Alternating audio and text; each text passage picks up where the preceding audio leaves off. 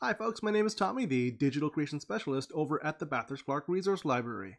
Now we're here again with another Steam video for you, where we're going to channel our inner spies, our inner James Bonds. And we're going to learn a bit about code breaking. So, have you ever had a secret you wanted to pass along to someone and make sure that only they read it? Well, you can always write it in a small piece of paper, fold it up, and pass it along to them, hoping nobody intercepts your message and reads it. But the best thing we can do is to write it in a way that only the reader knows how to understand. This is why we created secret codes and languages. So, when we're creating a message, we encode it by writing it in a special way, and then the reader needs to translate it back into a readable language. This is known as decoding. The key to encoding and decoding are the ciphers. This is the method we use to hide away our message. Ciphers can be as simple as writing a word backwards, or substituting the letters for numbers. But they can also be as complex as very over the top mathematical algorithms that not even the human brain can comprehend very quickly.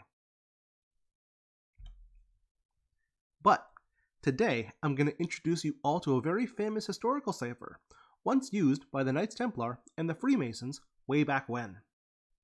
This is known as the Pigpen cipher. This is what's known as a substitution cipher, meaning we're substituting the letters for something else. This cipher once baffled people for years from its almost alien like appearance. Take a look. Here's a message for you all. Got it? Now, here's what the message actually says. To see how I created this code, you need the key. Here it is. In this key, you can see how the different letters of the alphabet are distributed among four different grids. When you want to write a letter, you need to look at the lines and the dots that are around the letter in the grid, and that will be the letter that you use in your message. So, the letter A would look like this. The letter T would look like this. The letter L would look like this. The letter Z would look like this. So, putting it all together, the word waltz would look like this.